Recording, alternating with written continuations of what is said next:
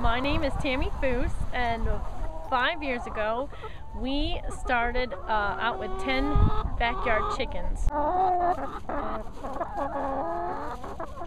So we got our 10 chickens and we, we had excess eggs and we put a little cooler out in the front yard and people would come and get the eggs and leave some money behind in the cooler.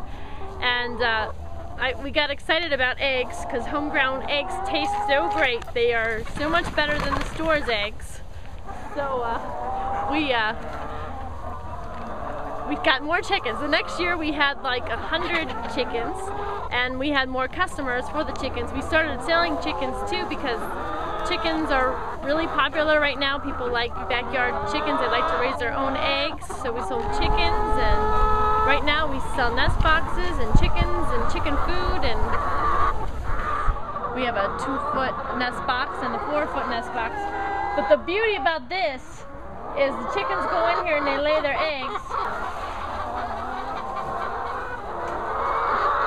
These are young chickens, so you're gonna see difference in the sizes there. But uh, when a chicken first starts to lay an egg, it's much smaller than that, much smaller. So they, they just increase in size.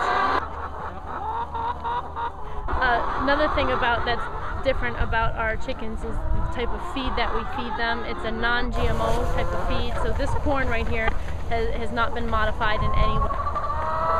It, it's really all about the egg. It, it tastes so good. It, it, has a lot of extra nutritional value, uh, less cholesterol, less saturated fat, higher in vitamins. The, the word is pastured, which means that they're on green grass, eating grass and bugs and things like that pretty soon we're going to have a new uh, chicken caravan coming, a big trailer that will help us to uh, move them around the pasture. So we're excited about that.